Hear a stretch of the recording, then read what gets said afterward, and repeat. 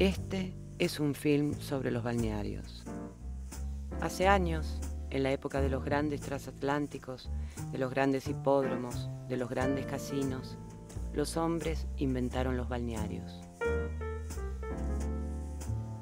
Fue una idea alucinada y festiva, una idea inocente.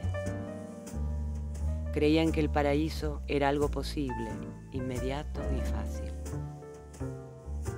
Tomaban una franja de la costa marina y la llenaban de palacios, ramblas y palmeras, para después desvestirse y pasar horas y horas en el agua o en el sol. Los balnearios surgieron como un juego. Los inventó un siglo que todavía jugaba, que todavía era un niño.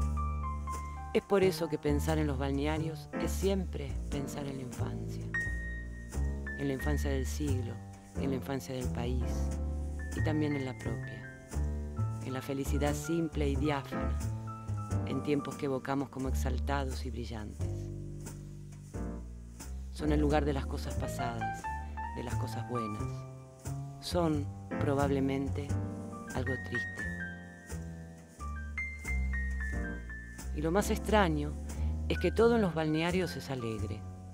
Los balnearios nacen de algo antiguo y profundo, casi animal nacen del placer del agua, por nadar, zambullirse o flotar, por explorarla, desafiarla y celebrarla, por hacer de ella una fiesta. Es como el fuego, como la velocidad o como la música, algo primario, algo primitivo.